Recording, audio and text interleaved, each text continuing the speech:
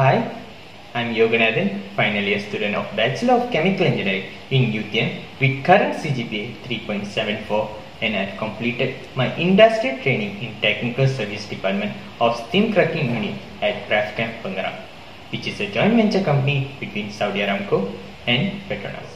My major roles during my internship are monitoring cold area in steam cracker plant, designing different columns by using Aspen HYSYS and solving different issues in the plant by root cause failure analysis approach.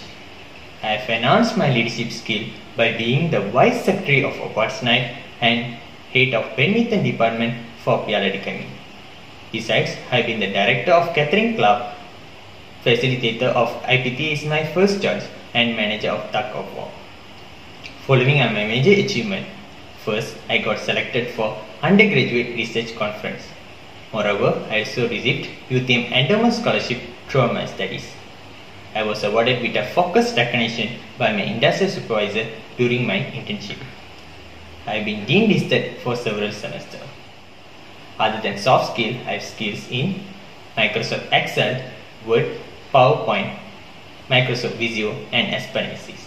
Wait no more. If you are looking for a production engineer or chemical engineer, you are welcome to contact me to arrange an interview. I can be reached through yogan810 at gmail.com. I'm eager to learn more how I might add value to your organization. That's all for me for now. If you want to stay connected with me, do follow me in LinkedIn. My ID is Yogenathan Muniandy. Thank you.